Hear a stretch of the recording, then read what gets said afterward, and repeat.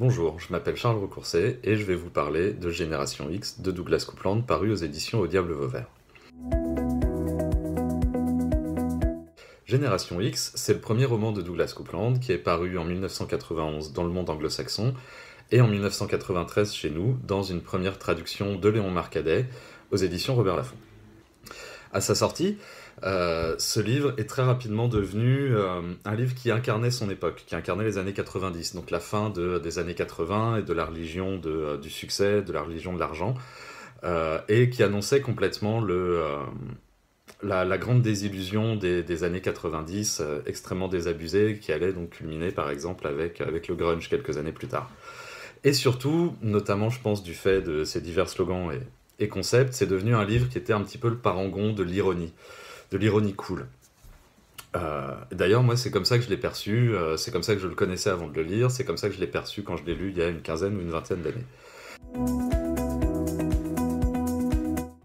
C'est l'histoire de trois jeunes gens qui ont entre 20 et 30 ans, euh, qui vivent en Californie, qui sont sous-employés et complètement désabusés ces trois jeunes gens, ils décident d'aller vivre ensemble dans le désert à Palm Springs.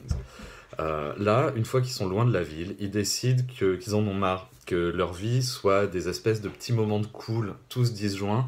Ils décident qu'il leur faut un liant, que leur vie doivent, mériter, doivent être des histoires qui méritent d'être racontées.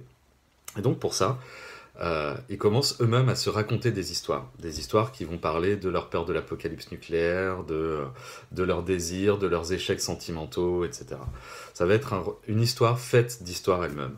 Et en plus de ça, émaillée de slogans divers et variés, de manifestations, de, de vignettes façon pop art, de définitions de concepts sociologiques assez caustiques et inventés par Coupland lui-même.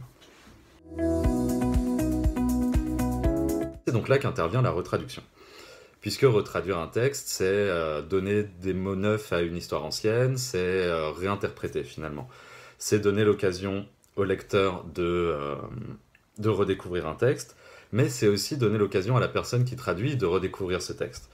Et en l'occurrence, moi, ce que j'ai redécouvert, c'est non pas l'ironie, c'est c'est l'inverse, l'opposé de l'ironie.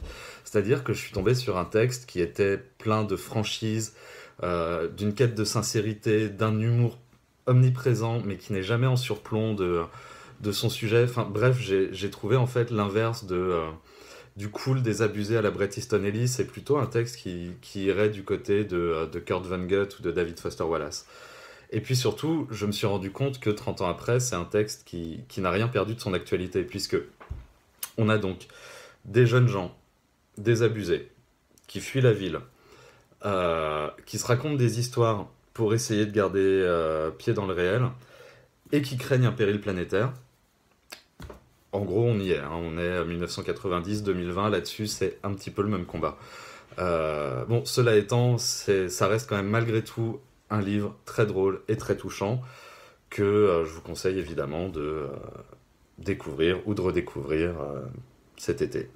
Cet été que je vous souhaite donc excellent à toutes et à tous. Thank you.